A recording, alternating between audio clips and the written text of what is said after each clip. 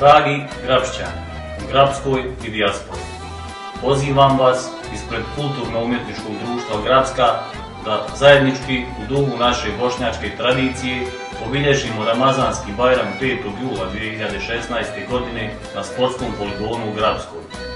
Dođite da svi zajedno obilježimo i da se veselimo Bajramu na bosanskom jeziku.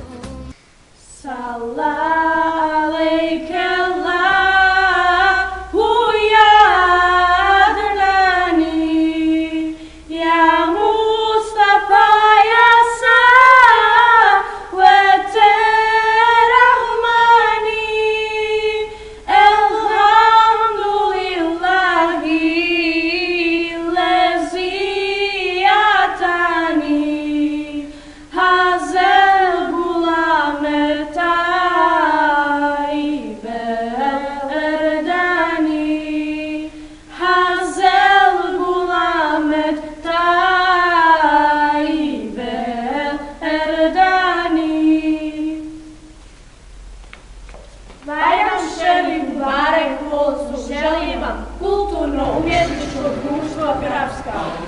Dođite da zajedno podržimo rad kulturno-umjetničkog društva Grabska i zajedno se veselimo Bajram, jer ovo je naša budućnost.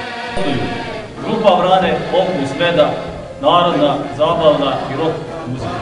Dođite da svi zajedno obilježimo i da se veselimo Bajramu na bosanskom jeziku. Vatromet u 22 sata. Vatromet 22 sata, Bujiru! Medijski pokrovitelj BH Sound, Senat Čegić i Medija